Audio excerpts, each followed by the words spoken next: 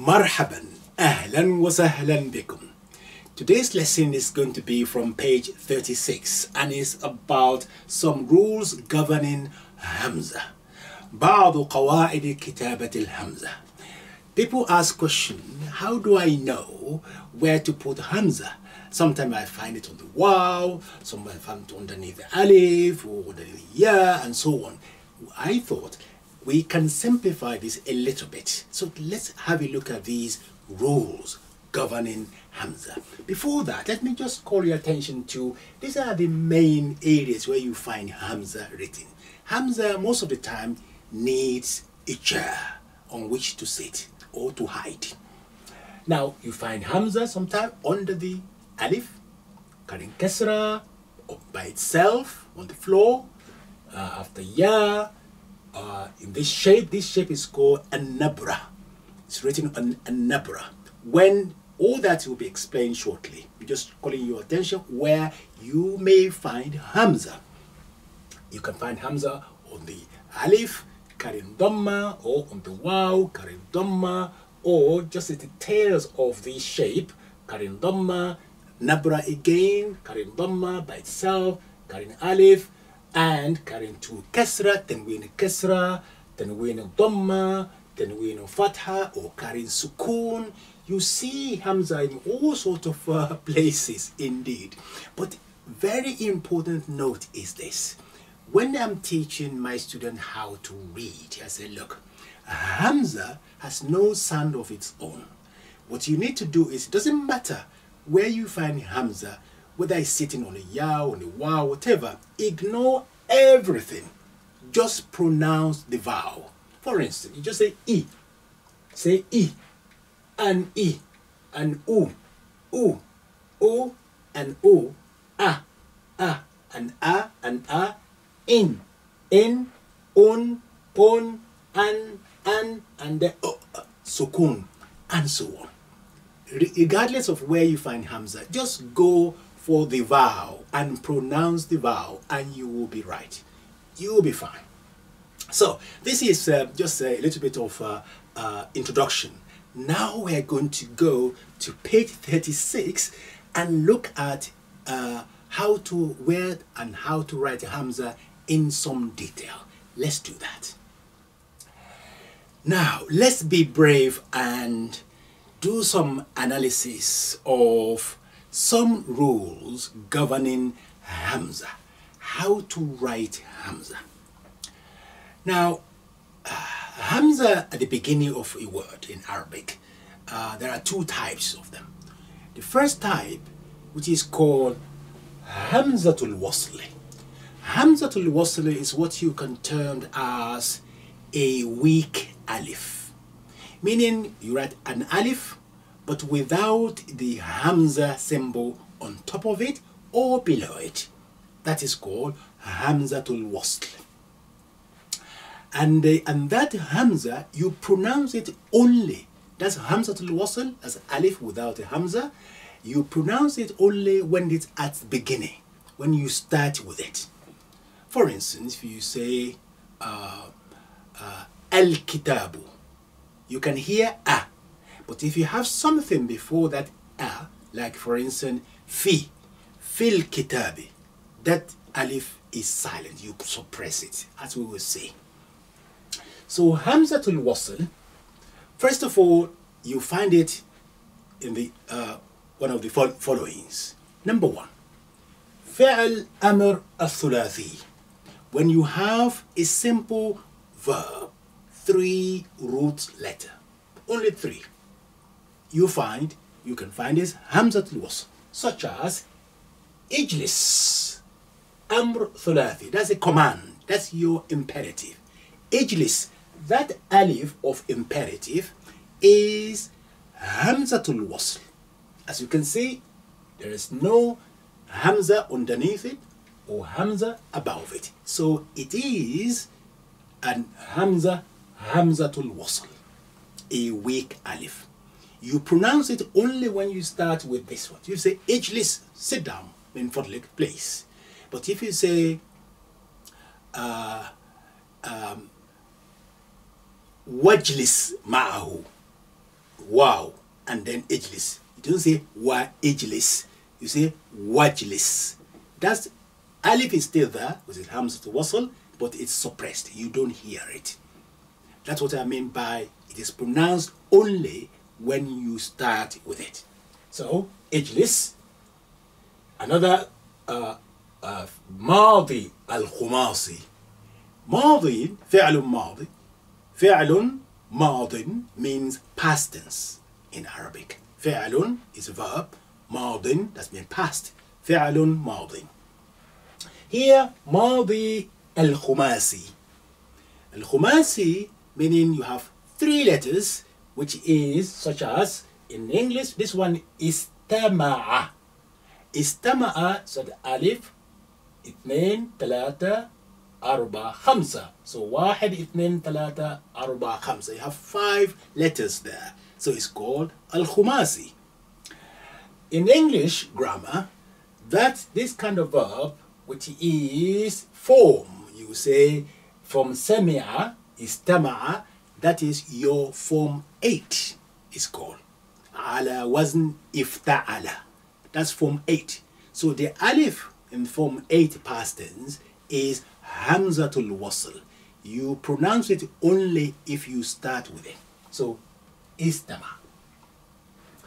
Also, amr al-khumasi, the imperative alif of the uh, form 8 as well, is you don't write hamza on it. So, istami' listen. Istami' So in the past tense of al-khumasi from 8 and in the imperative the alif you have there is hamzatul wasl a weak alif. Does, it shouldn't carry hamza. Don't put hamza on it. Also masdar al-khumasi. Uh, masdar is verbal noun that's what his master is. And istima, that is verbal noun of form 8. Ifta'ala, yifta'ilu, ifti'al, istima. So those alif, they are hamzatul wasl. You must not put symbol of hamza on it. That's number one. Again, when you go further, this is also khumasi, in fa'ala in and that is your form 7 in fa'ala that's form 7 in terms of the, uh, the, the grammar or the tasrif or conjugation. So in fa'ala is called khumasi because you have five letters there. You can see that the, the original root letter is in black here. So original root letter is fa and ain and la. So if ta'ala, if in fi'al, so you have in fa'ala, in fi'al. In fa'ala, that's your fi'alun madi, is past tense. In fi'al is your masdar, which is your verbal noun. Now, again, that should, from some seven, in the past tense, should not carry symbol of hamza, and in the uh, masdar, which is your um, uh, verbal noun, that's alif also should not carry hamza symbol. Again, here you have, you have ifta'ala, which is equivalent to istama'a. You can see fa. So here you can tell this is your first root. Is equivalent to if. This is extra alif, and this is extra ta, which is here. So your original uh, letters here are sin, mim, and ains because it's form 8. So ala wasn't ifta'ala. Uh, ifti'al.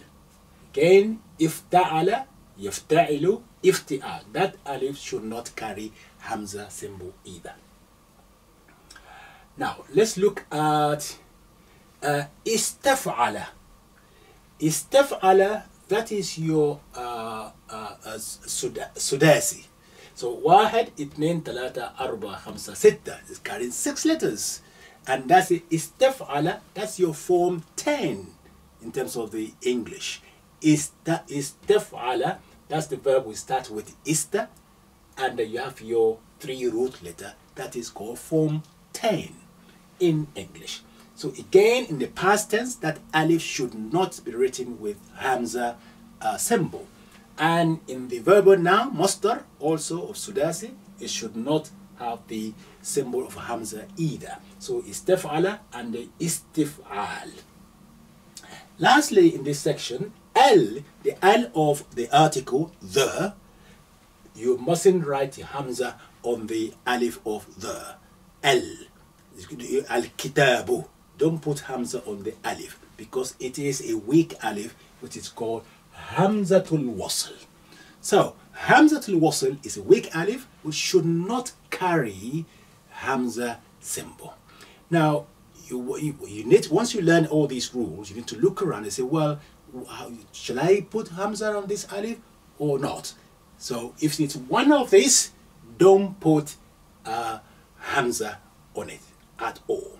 We're going to now extend it and tell you more about where you can find hamza hamzatul wasl, where you should not put the symbol of hamza on that alif. Let's do that. Now, in addition to what we have just uh, explained, the following nouns also should not carry a symbol of Hamza because the alif in them is Hamzatul Wasl. One of them is Ism. When you write Ism, Ism means a name. Don't put Hamza underneath your alif because this alif is hamza Hamzatul Wasl, should not carry the symbol of Hamza. So Ism must not be written with the symbol of Hamza under the alif. Next one, Imra'atun. Imra'a. Imra'a means a woman. Imra'atun. The alif in Imra'a also is a hamza Hamzatul Wasl, which should not carry the symbol of Hamza. Ibn, a son. A son also, alif there is Hamzatul Wasl. Don't write Ibn with Hamza underneath it at all. It is Hamzatul Wasl. Ibnatun, daughter, is the same alif. Again, Ibnun, Ibnatun. Don't write symbol of Hamza because all these are alif or Hamzatul Wasl. Ithnani, when you are counting, wahad ithnan, or ithnain if you want to, uh, a genitive or accusative, ithnan, the alif of ithnan, don't put Hamza on it either because it's Hamzatul Wasl. Imru'un, Imru'un, like a, a person, so Imru'un, once, again, alif is Hamzatul Wasl. Imra'atani, you have Imra'atun, a woman, Imra'atani, two women, also that alif should not carry uh, a Hamzat symbol. Ibnun, Ibnani, again the same thing, as alif also is a Hamzatul Wasl, and Ibnatani, the same, and Ithnani, Ithnatani, Ithnataini, Ithnaini, all of them. So any of these, now you have been told, don't write Hamza symbol on, on them.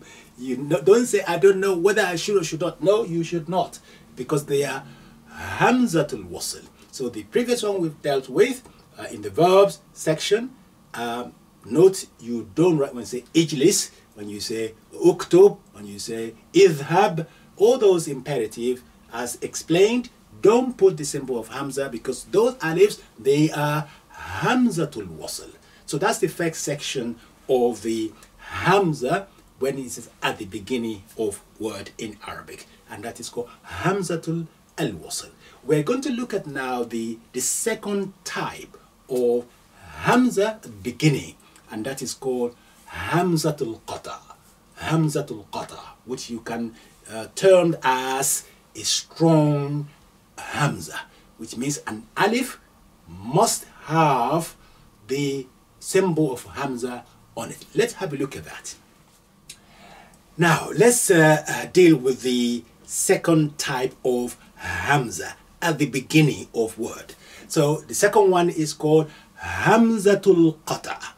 Hamzatul Qata means a strong alif. A strong alif meaning is carrying actually the symbol of Hamza. On that's a strong one. The one we've dealt with before is Hamzatul Wasl, which is a weak alif, which doesn't have the symbol of Hamza on it, or, or underneath or above, and it can only be pronounced at the beginning. When something's, uh, you have anything, even a single letter before it, you suppress the sound of it, and that is Hamzatul Wasl. Now, the Hamzatul Qata is strong alif, is carrying the Hamza. Where do we find it? Fi'lum madin. When you have the past tense verb, thulathi, which is only three letters, like this one, akala. The akala, uh, asara, amala, all those verbs, three letters, and the first root letter is hamza. That alif must carry the symbol because that hamza is hamzatul qata. And hamzatul qata must be pronounced all the time, every time. Doesn't matter whether a letter before it, letter after, it doesn't matter. You cannot suppress the sound of hamzatul qata. You have to pronounce it qat'an. You have to really pronounce it, and that's what is called hamzatul qata. Akala. Uh, ومصدره also فعل ثلاثي when you have the past tense with three letters uh, in the past tense as well as the um, masdar which is a verbal noun so akala aklun again you have to pronounce it but the only one which is in the part in the three letters uh, uh, verb thulathi which is carrying the uh, hamzatul wasl is the fi'l amr when you are giving instruction, which is your imperative. Ijlis, uktub, whenever you are using the imperative with that simple verbs, uh, three letters, don't put hamza on it. So ijlis, uktub, idhab, iftah, uh, and so on. Ifham, and so on. Okay? Now, but in the in the past tense and the masdar, which is your uh, verbal noun, you must use your hamzatul qada. Now, the second place where you see you find you find Hamzatul Qata is Mad Rubai. When you have the four letters in English, that's your form four of Hama. All those forms are going to be explained to you later on, I think in uh, book six later on. Let's take it step by step. Okay? So, so the second place where you find the Hamzatul Qata is uh, a Rubai and that is your form 4, such as afhama. When you write in that's from four verbs, you must put hamza on top of the alif because it's hamzatul qata. Uh, whether it's madi, uh, uh, past tense of that verb, or fi'al amr, which is the imperative, or verbal noun, which is masdar. So afhama, afhim, ifham. The rubai is always carry Hamzatul A Qata. The third place when you find the Hamzatul Qata is the following uh, uh, nouns, which is start started with the with the alif or Hamzatul was uh, Hamzatul Qata. So number one, uh, apart from all the nouns that we have mentioned in the in the past for the Hamzatul Wasl, uh, any other noun you need to put Hamzat al-Wasl, Hamzat al-Qata. So like Ahmad, Anas, Insan, Usbu, and so on. The important thing is uh, revise the Hamzatul Wasl, the weak alif one, where I listed some nouns like uh, uh, Imra'atun, Imra'atani, Ithnani, Ithnatani. Those nouns you need to be mindful to make sure you don't put symbol of Hamza on them because it's a Hamzatul Wasl. Uh, al-Wasl. Any other than that, just this is just an example really. For as long as it's not it's not part of the the, the noun listed for you, the Hamzatul Wasl, put Hamza on it, either above it or, underneath it as may be appropriate. Okay, so that is your a very brief analysis of uh, how you deal with Hamza when it's at the beginning. All this just at the beginning. You have something start with Hamza. So either is Hamza till uh, the one with a weak alif, that uh, you don't put the symbol of Hamza on it or underneath it or above, or uh, Hamzatul Qata, and you know where to look for those one. So I think not to extend it too much, I'll then I will deal in the next lesson, inshallah, when we find Hamza in the middle, not at the beginning, in the middle, sandwich, what are we going to do? That will be the subject of next lesson, inshallah. So, go and have good cup of tea, good cup of coffee, or water, which is my, what I prefer, and revise this for me and digest it and take it step by step. Please, don't tell me it's too difficult. It's not. Just take it easy. Watch it again, over, again, again, again, again. You will get it, inshallah. So I see you next time when I will discuss the Hamza in the middle, how to deal with, with that situation. Okay? Until then, مع السلامة إلى اللقاء في أمان الله